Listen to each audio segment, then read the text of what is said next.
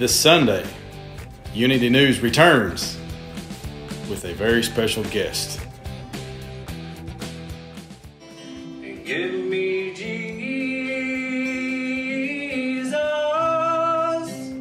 Why sometimes you're not allowed to take it? What is the purpose or the teaching behind that?